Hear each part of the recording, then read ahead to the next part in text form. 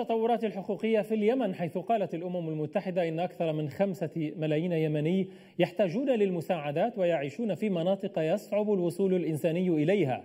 جاء ذلك في تغريدة لمكتب الأمم المتحدة لتنسيق الشؤون الإنسانية في اليمن عبر حسابه على تويتر.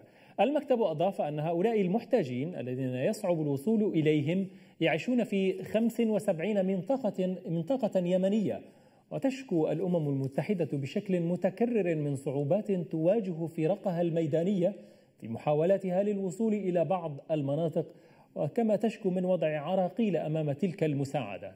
معي للحديث حول هذا الموضوع المدير التنفيذي لمركز القانون سيد توفيق الشعبي من صنعاء، أرحب بك توفيق في حقوق الناس، هذه المناطق العديدة في اليمن التي لا يمكن الوصول إليها وإيصال المساعدات. هل هناك تحديد لنسبة هذه المناطق مساحة هذه المناطق أقصد من آه، مساحة اليمن وتحديدا المناطق التي تحتاج لمساعدات إنسانية؟ آه، اولا آه، بالتأكيد انه كثير من المناطق يجب الأخذ بالاعتبار بالنسبة لليمن لأنه المناطق الريفية أو التجمعات فهي 73 إلى 75% من التجمعات السكانيه هي في المناطق الجبلية والمناطق الأرياف. و21% هو مناطق مدنية أو حضرية على وفقا للتصنيف السكاني وبالتالي البيئة اليمنية والجغرافيا اليمنية هي جغرافية معقدة بسبب عدم وصول المواصلات أو الطرق الرئيسية إلى تلك المناطق إضافة إلى تشتت التجمعات السكانية وهذا بالتأكيد يخلق صعوبات كبيرة جدا في اتجاه عملية إيصال المساعدات الانسانيه.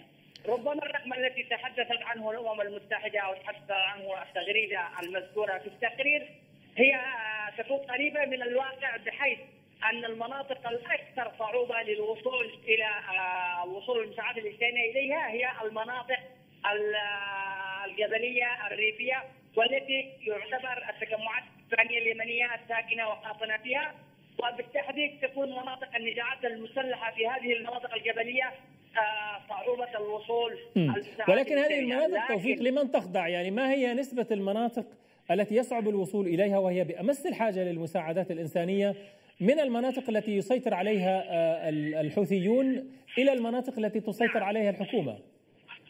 لا نعم. لا بالنظر إلى خارطة توزيع الحرب في اليمن بالتأكيد ان أكثر المناطق صعوبه الوصول فيها والتي وضعت فيها عراقيل هي المناطق التي يسيطر عليها مسلحي جماعة الحوثي وخاصة تلك المناطق الجبلية في شمال الشمال أو في بعض المناطق في المناطق الساحلية التي يضع عليها يضع أمامها عراقيل آه، الحوثيين بحسب التقرير آه، الأخير لمنسقة الشؤون الإنسانية للامم المتحدة وتحدثت بالتاكيد عن أن هناك واضحه من قبل مسلحي جماعة الحوثي لإيصال المساعدات إلى هذه المناطق.